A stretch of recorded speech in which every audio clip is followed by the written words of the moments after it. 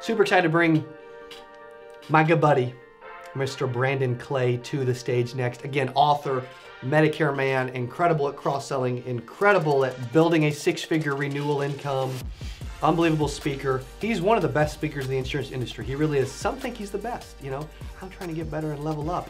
So maybe I can get on his level. Okay. He's phenomenal. Good dude, knows a ton about this industry, has been everywhere in this industry, and is now a part of Heartland Financial Group and One Life America. Good dude. Super excited to have him a part of it. My good buddy. Come on now, bring him out to the virtual stage, Mr. Brandon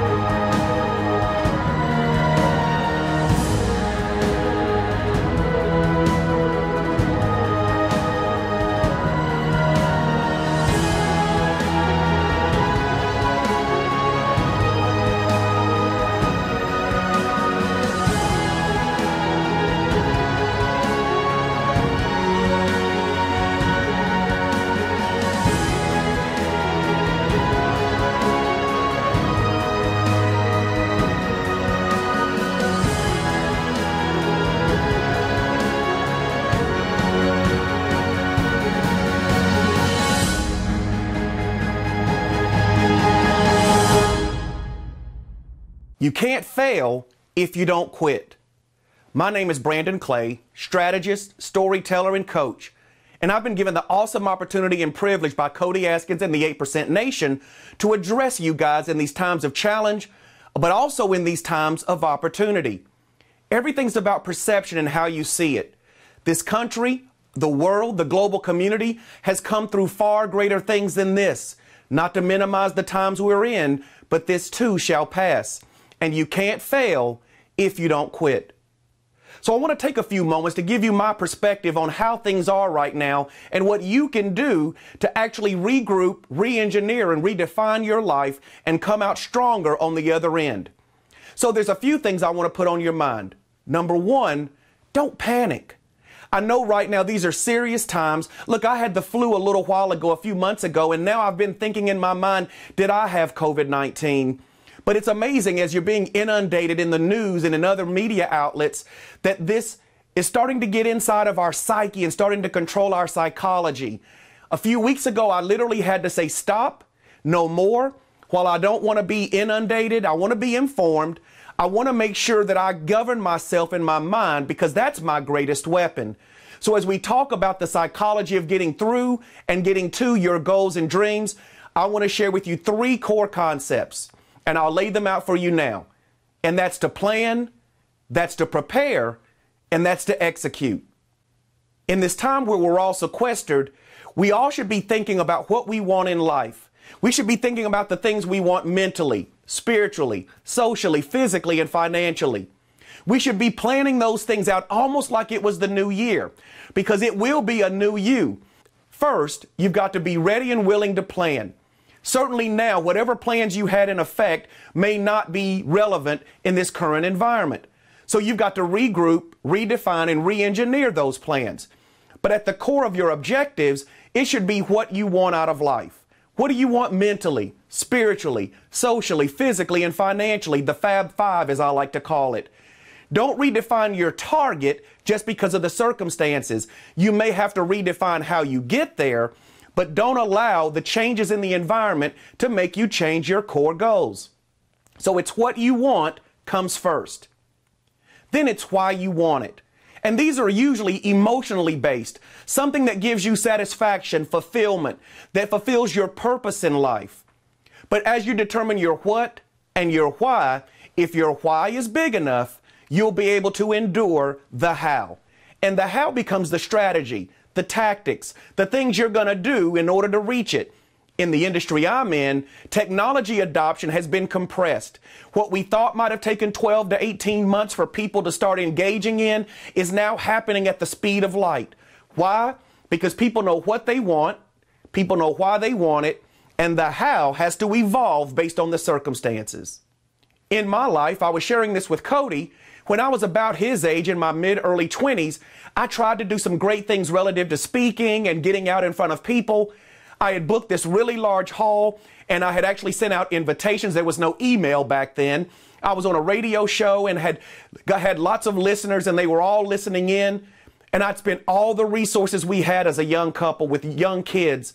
And when I showed up that day, the RSVPs had been fairly light, and it was even worse when I turned the corner. Ultimately, I had 500 empty seats with 10 people in front of me. But I engaged those 10 people like they were the, the, the, most important 10 people on earth, and quite candidly, they were. And what I didn't know is that 30 years later, that that same energy has allowed me to get in front of groups of thousands of people and speak. But my plan didn't change, my objectives didn't change, my goals didn't change. I continued to develop myself, continued to write books, continued to read books. So in this day of sequestration, you've got to be willing to invest in self development that are targeting you and leading you toward your goals, your dreams, what you want, why you want it, and how you're going to get there.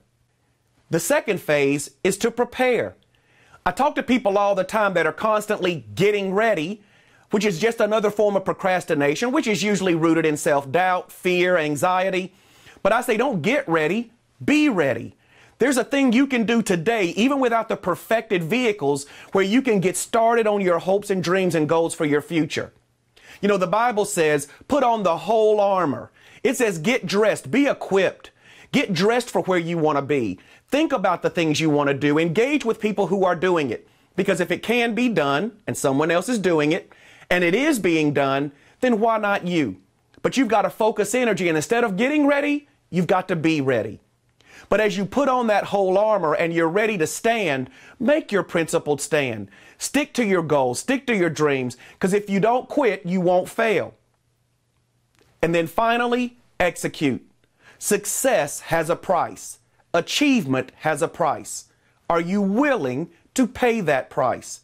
People want excellence and success to be cheap. It's not. That's why the get rich quick schemes seem to be so prevalent and seem to be so sought after because people want it without work. People want it without labor. But there is a price to pay. And if you can pay that price, just like any investment, you put the seeds of capital in first. The capital is your mind, the capital is your vision, the capital is your resources, but ultimately, action is the delineator of faith.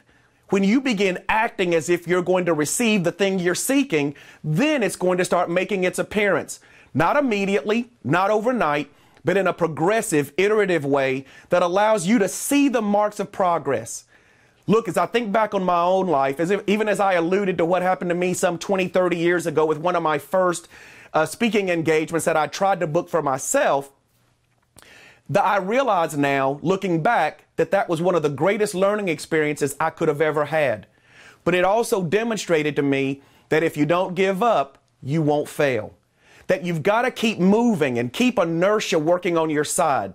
We try a few things and then it fails and then we stop. But I'm telling you now that the way to build momentum is to get started and to get going. Sir Isaac Newton's law says that an object at rest stays at rest. An object in motion stays in motion. But there's something about motion and inertia and momentum that generates a, an effect that ends up getting you greater and higher than you ever dreamed possible. So, planning, preparing, execution. These are the three core tenets of my life that have allowed me to have a level of success. And look, I started out first in struggle, like many of you might be right now. I worked my way to success. And then I realized that success was not enough that I wanted to evolve into significance, that I wanted to write books and leave a legacy, which is my ultimate goal.